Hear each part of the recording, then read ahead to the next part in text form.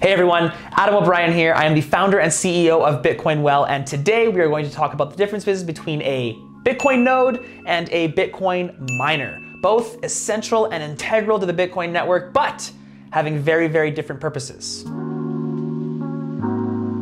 This is a Bitcoin node, basically a very, very small computer or a Raspberry Pi paired with a one terabyte hard drive. Now, this is super, super important to the decentralization of Bitcoin's network. Every single person that runs one of these nodes has the entire blockchain installed on it. The blockchain is a list of all the transactions, all the history, and all the balances in the Bitcoin network.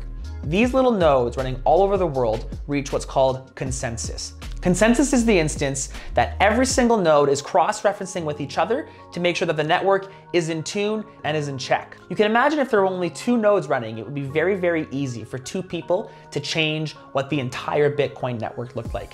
With tens of thousands, hundreds of thousands, and even millions of nodes running, it is a lot more difficult and a lot safer for everyone to trust the Bitcoin network. A Bitcoin miner, even when they're as dusty as this, are what help bring Bitcoin into supply. These miners are attached to a mining pool or mining independently for one purpose, solving an algorithm. These Bitcoin miners attack the Bitcoin algorithm to bring Bitcoin in a predictable rate of supply into circulation. On top of all that, they're also confirming transactions and sending this data to the nodes to make sure that everyone's in consensus. Miners make money two ways. Every single Bitcoin transaction that's sent is attached with a mining fee.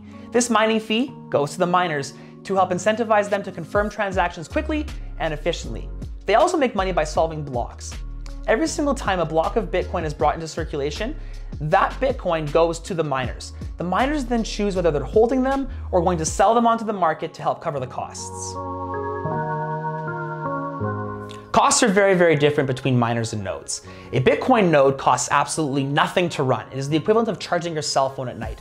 There is hardly any power draw. You need an internet connection, a $200 Raspberry Pi, and a $200 hard drive. It is very, very affordable and efficient way to keep the Bitcoin network safe. A Bitcoin miner, on the other hand, has exuberant power costs. The Bitcoin algorithm is designed to get harder and harder to solve over time. That means these miners have to get faster and faster, stronger and stronger, and therefore take a lot more power to do so. Mining Bitcoin consumes power, which of course costs money. Miners, however, are very incentivized to use as green and as cheap of power as possible. This has caused mining farms to rush towards countries like Iceland and Canada, where power is affordable and also there's a heavy stance and availability of renewable energy. Bitcoin is a decentralized cryptocurrency.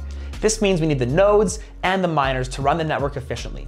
Without the nodes, there can be no consensus. There's no possible way the Bitcoin network would be so safe. Without the miners, we would not have a predictable rate of supply. The Bitcoin price would be even more volatile than it already is today. At the end of the day, Bitcoin is designed to be a peer-to-peer -peer store of value. This means that you can use, own, and control Bitcoin without the need for a third party. Nodes and miners help you do just that.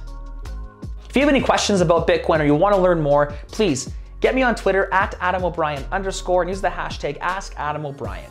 We're going to be scrubbing this hashtag and getting all the questions being asked and answering them in live streams periodically. If you want to learn how to build a node, please click right here. We've made a video showing you how to do just that. Also, visit adamobrien.ca to follow me on other social media platforms and get to know more about Bitcoin. Thanks so much. Talk to you soon.